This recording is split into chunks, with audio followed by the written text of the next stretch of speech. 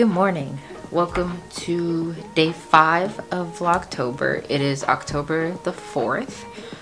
Um, a little later in the day, getting the vlog started. Um, as you saw yesterday, it was a bit of a rough evening. Um, but for the most part, all is well. Things are under control. Uh, on today's agenda, we're going to the grocery store. Will not promise books won't get bought, but that's not what we're solely going to the grocery store for. Going to the grocery store, we're gonna make a Instagram reel recipe and we're truly, truly going to finish Misery by Stephen King. I would love, I would love to finish my sleeve today. At least like a sleeve today and a freaking start it and then a sleeve tomorrow. Because on Sunday, Ethan has his birthday party and that's when the test knit is due. I'm really trying to meet the deadline. And as you can hear, it's been a week and we still haven't started the birthday outfit.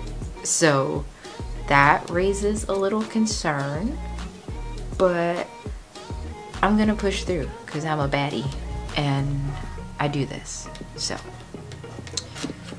period.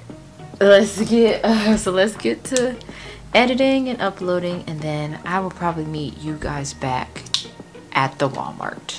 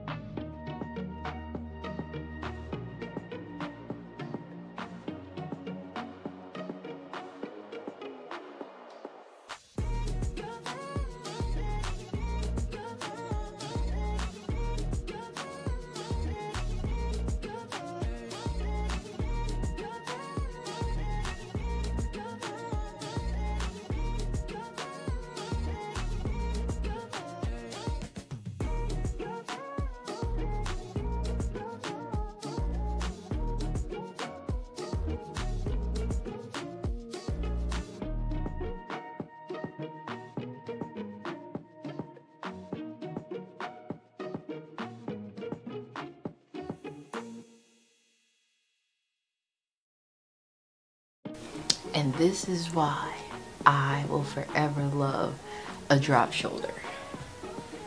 Like I'm already halfway there. if I had the energy, I would just carry on. But I am so tired. But I'm pretty much almost there because this is my elbow, so I'm already like down the down there. So I only have I got a couple more repeats to go. But yeah, the energy is truly low. truly, truly low. But I love everything that's happening. And this is a good fit. That's gonna look so nice. Okay. So, to recap with you, um, I finished. I finished. You saw me finish. You saw me go through. My bad, girl. There we go. You saw me saw me go through all kinds of emotions, but I finished. So, hopefully tomorrow, my mom and I can watch the movie. I give that book five stars. I gave it five stars. Um, yeah. You know, I'll even go beyond. I'll even give it a six because the writing was absolutely, positively drop dead gorgeous. Drop dead gorgeous. And I loved it. I loved even at the times that I was like so scared and looking behind my shoulder and like really like ugh, on edge. I loved, loved, loved, loved it. Loved it. So, you're lame. Yeah, I did. Anyway. There's always just the hater in the miss, you know? hate that for me. Um, but yeah. So overall a good day and you saw me cook dinner. The soup was great. The bread, not great. Um, but I'll say it was user error. I won't blame the box. I'm also a from scratch kind of girly also. So I didn't need that box for the bread. I was just being lazy. And you, you pay for what you get. So, yeah. Overall, I think today was a good day. I will again thank you for the well wishes of my husband. If you sent any in today's vlog, or yesterday's vlog. The times already running together. Um, but yeah, so tomorrow we'll definitely be hitting this sleeve pretty hard along with um, along with finishing it and then getting to this one as fast as humanly possible and then I'm praying we can start we can start other things. Because I'm really ready to start that sweater. That sweater I think I'm gonna part of me feels like I'm gonna fly. I'm not gonna lie to you. I'm not even gonna lie. But yeah so thank you so much for watching today. And I hope to see you tomorrow also with something fun. And we get to start a new book so you have to come back and see what we start the next day. Facts. Okay